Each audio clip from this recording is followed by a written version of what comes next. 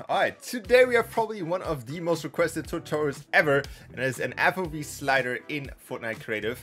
And today I'm going to show you exactly how it's done, but couldn't be done without the help from Hypex, who actually teach me a lot about this and showed me how it's actually done. Big shout out to Hypex, I'm pretty sure he doesn't need any more followers, but you know, leave him some love, he's actually insane in Fortnite Creative. So, with that being said, let's jump right into it. Alright, so let's get right into it, and let's see what we need first. The first thing we actually need is two devices, and the first device that we need here is we can click on the Fortnite and then click on devices. And we're going to look for a trigger device here.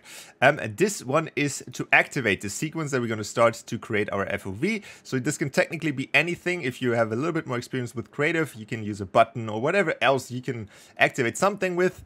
Um, but in our case, we're going to use a trigger device. And we also need a sequence. Same option, Fortnite devices, and we need the cinematic sequence device here.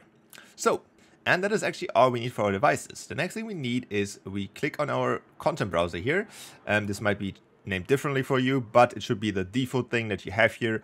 Because in here we can actually create blueprint classes and we need one to create our FOV effect. The first thing we need to do is right click on the little empty window here, then go to blueprint class, and then this window will pop up.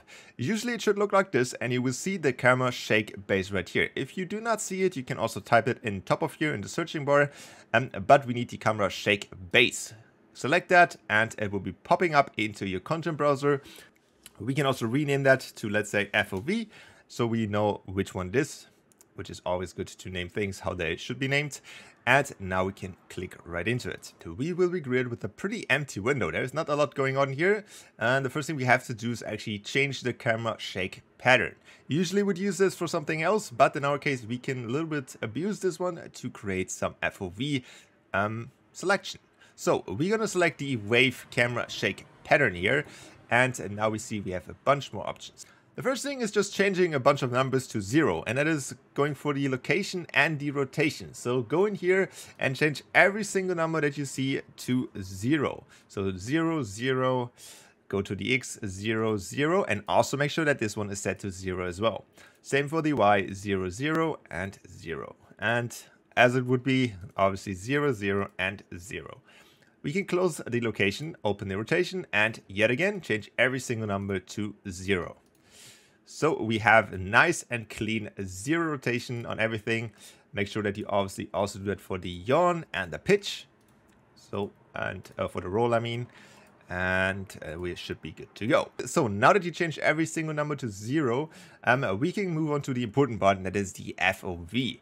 So in the FOV, we'll be greeted with the amplitude. And this one is actually your FOV. So whatever FOV you want to have, um, you can change that to like, let's say 120. So that will be an FOV of 120. If you want to make this higher or lower, you can change that in here however you want. The frequency needs to be changed to a very small number. Uh, it doesn't have to be particularly this exact number here, but it needs to be somewhere in that range. So make sure that you change it to a very small one. Also make sure that you have the initial offset type to a zero as well. The duration, on the other hand, needs to be changed to a very high number. So you can put a bunch of zeros here, and yet again, it doesn't have to be the exact same number. Just make sure it's a very, very, very high one. Uh, and then it will be fine. So uh, you can see that sometimes it auto uh, adjusted. It doesn't really matter. Um, the only thing that matters though is that you set the blend time to zero and to zero. And with that, we are already done here. There's nothing much we can change here. Make sure that you compile and obviously save, and we're good to go with this one. Once that is said and done and you have your FOV here, everything is saved. Make sure that you always save in between. So next thing we have to do is put our FOV into the map. But we cannot just simply drag and drop it in here. We need to actually add something where we can put that in. So for that, we can go to this little cube with a plus sign over here, open it up, and then go to cinematic and camera shake source actor. You can see now that we have this like little like sonar icon you can say in the map um, where we can now put in our camera shake. You will also then see that you have a new actor in your map now and if you select that actor you'll be greeted of the with the settings here and you can see camera shake we can put in our FOV. The only things that we need to change in the settings here, besides obviously making sure that the camera shake is in there, mm. is that we change this to zero and we change this one to yet again an insanely high number. So just put it whatever big number you can come up with. And in the end, it should look something like this. Inner radius should be zero or whatever number. I think it doesn't really matter what the inner radius is. And the outer radius should be a very high number. Also make sure that the camera shake is your FOV. We are already halfway, we are already halfway through and there's not a lot of, alright. We are already halfway done. The next thing we have to do is create a level sequence, which we can put into our sequencer, our cinematic sequencer. So we're going to go right click again on our content browser, go into the um, cinematics tab here and add a level sequence. All right, so now that we have our level sequence, which I named FOV sequence, um, we can click into it and now we're greeted with a level sequence. The first thing we have to do is make this insanely big again basically what you want to do is make this as big as possible. So you'll just like scroll down a bunch of numbers and then it will basically set to whatever number is here. Make sure that your timeline is obviously as long as this number as well. So also make sure that your sequence is also playing as long as you made it here. So make sure that you set this all the way to the end. Alright, so now that your level sequence is the maximum time and it is set to the maximum, so your red bar is over here, um, we need to go to the plus track icon over here, press it, and then we need to add a time dilation track. This will speed up your map, so if you ever want to create something where your map goes faster, this is how you can do it. So what we need to do with the time dilation here is set this to an insanely high number, which is not 2, as you can see. 2 is running pretty fast, 10 is also running pretty fast, but we need to set that to 3000 um, or higher. But um, basically 3000 should be fine enough. But if I set this to 3000, you're going to see that, um, you know, it's going crazy fast. So we're going to close out quickly here. We do not have to do anything in here as well. Make sure that you obviously save it. And, and now close out here so we have normal sky again. But, but if you closed out and everything worked perfectly fine, you should be able to place your cinematic sequence in your cinematic sequencer. Uh, for that, we can click on the cinematic sequence device in your outliner here and select it in here. We do not need to change any other settings because we're going to do that in verse and that is very important. Don't be scared. You get the code. You can just copy and paste and it will work perfectly fine. Um, but we need to use this in verse. That's why we do not change anything in the device itself. Alright, so now the last step is to create a verse device, which is also not super complicated, but it is a little bit of verse. Um, the first thing we have to do is go to our verse explorer over here, and then we create a new verse file. So we can name this uh, FOV since we already added and we can start creating it. Now we see our FOV verse file over here. If everything worked perfectly fine, you'll be greeted with the uh, visual code window. You have your first verse code here. Um, and if you have that here, you just need to copy and paste the code that I will put in the description. I'll quickly explain how this code works so you know what to change if you want to change something.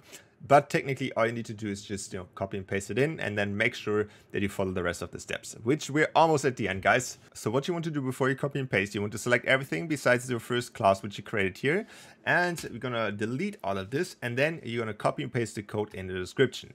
Uh, you made it exactly right. You should get squiggly lines on the Fortnite characters here. That is because we haven't put in the module for the Fortnite characters. So what you want to do here is copy this first line, go copy, and then we can put in the same line again and instead of devices, we're going to have characters. Uh, make sure that it's characters and not character. And now everything should be good to go and uh, you can basically already use this code. So I quickly explain what's going on here so you have a little bit of understanding what we're doing here and you can maybe change it to your liking. The first thing is obviously we need to add two devices, which are obviously our trigger, which starts the whole thing, and we have our level sequence, which is the cinematic device, which holds the whole magic behind it. So if you want to, for example, change this to a button, you need to make sure that you obviously replace everything that is a trigger device with a button here. And, and basically just from a device standpoint, what is going to happen here is that we tell our trigger device as soon as we shoot it or interact with it with this little line here that we should start playing our cinematic sequence here. Um, then we're going to set it into a sleep for a 1000 seconds, which is going to be like kind of like overhauled with the 3000 time dilation that we put in. So it's basically running only one second. And then we're going to stop the, the sequencer and we're going to also release the character from stasis, which means that I cannot move because otherwise the character would just fall through the floor, which we don't want. So we need to make sure that as soon as we interact with the trigger, we put our character in a basically still position. It, they cannot move for one second or even less than one second. All right, we start our sequence. We're going to put it into sleep for 1000 seconds, which is basically just one second because we sped up the time.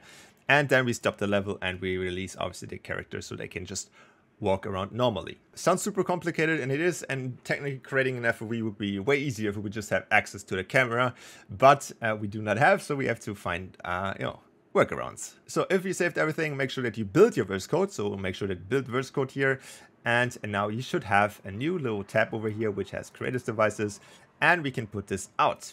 If we click on our verse device, we see that we have the trigger and the level sequence, so make sure that we select the trigger and we also select the right sequence. From here on, we're done. We can basically start the game and see if it worked. And now if we run into our trigger device, we should be seeing a nice FOV slider. Obviously it's not the craziest of any that I choose here, but you can obviously go as much and as crazy as you want. And uh, yeah, that is basically how you can create your own FOV slider in Fortnite.